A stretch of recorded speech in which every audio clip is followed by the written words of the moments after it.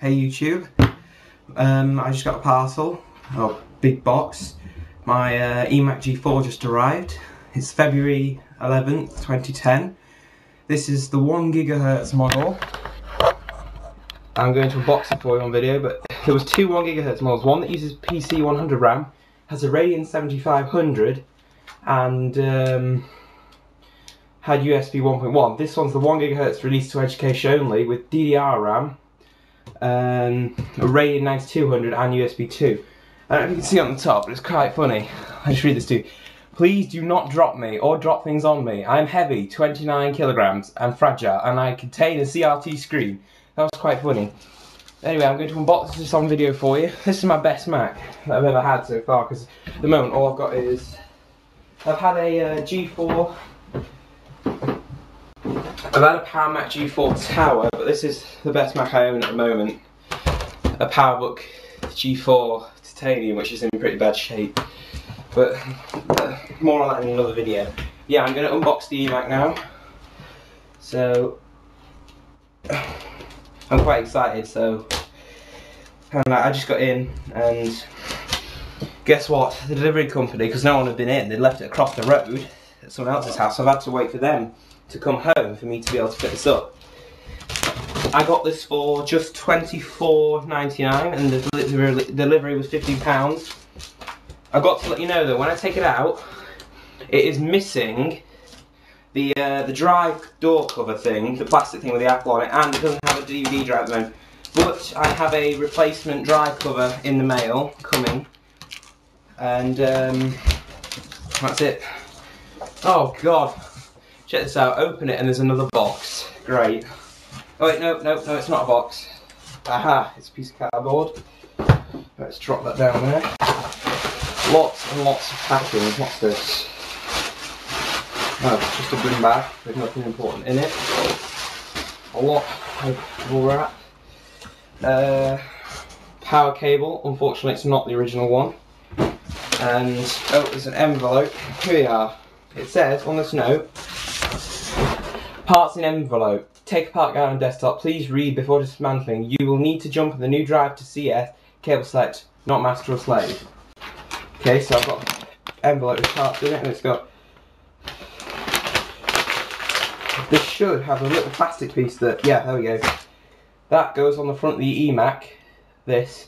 And this, uh, the plastic thing with the Apple logo clips onto this.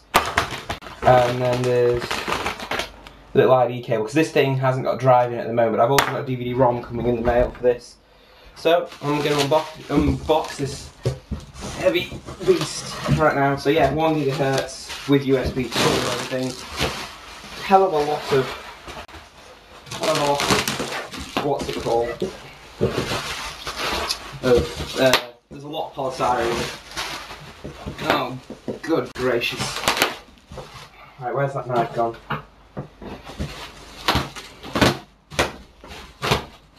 Oh, sorry about this. I'm just having to cut this polystyrene apart so can get the machine out. Well, how am I going to do this? this thing weighs a ton. It's currently encased in bubble wrap, so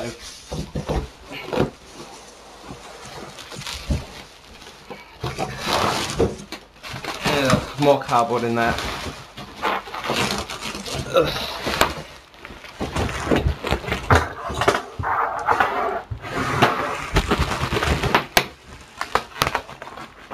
I don't know which way up this thing is, but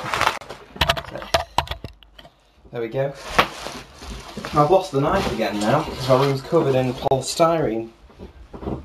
Oh, here we are.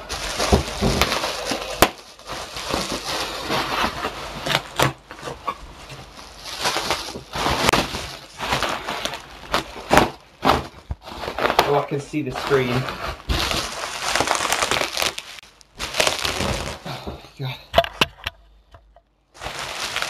Yes, that is a PS3. There's a PS3 back there. I'm using the PlayStation camera to record this. Oh, I've got it sideways. Hold on. Right, it's the right way up now. Oh, I can feel the, uh, the uh, CRT screen, the 70 inch CRT.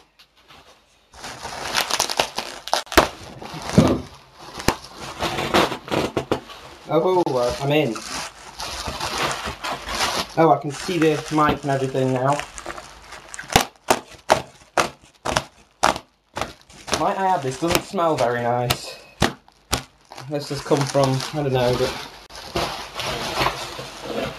Oh, that's nice. Oh yeah, if you want to buy one of these, the seller on eBay hasn't got any 24.99 ones left that are missing. See, that's there's just a piece of black plastic in there that are missing the optical driver thing. But he's got some for 29.99 um, plus £15 for delivery. And he's got some at £39.99 plus £15 for delivery, which come with the CD-ROM drive. But all they have at the front is just that piece of plastic sat there, no cover. And those are uh, this, the name of the seller on eBay is Fat Freddie 2004. That's F A T F R E D D I E 2004. So see, it's also missing the speaker covers, but as far as speaker covers go, I couldn't really care less. Well, it's in good nick. There's, there's a couple of scratches up the screen here. I don't know if you can really see that well. The speakers aren't damaged. This one's got a little nick on it, but I don't really care. That needs to come out and my DVD drive will go there. Ugh, it's a bit dusty around the side, but the side we got audio, um, headphones, I think that's line in, three USB 2 ports, two FireWire 400s, an Ethernet and a mini VGA out, power button, power cord hole there. Right, well thanks for watching and I'll do a short review on this soon. As, and um, and I'll do an upgrading video as soon as I've received my DVD-ROM drive in the mail. I'm going to be upgrading this to Leopard. I'll show you how to disassemble it and um, upgrade your RAM, put your DVD drive in. Plus, you'll possibly see where the hard disk is as well, but I'm not upgrading that for a while because it's only 40 gig and I can I got an 80 gig SATA USB external which I'll be plugging into the USB 2 ports. So yeah, it's a bit dusty, but nice machine. So I'll be back with that and how to fit all this and everything uh, soon, probably this weekend. Okay, thanks for watching my video. Bye.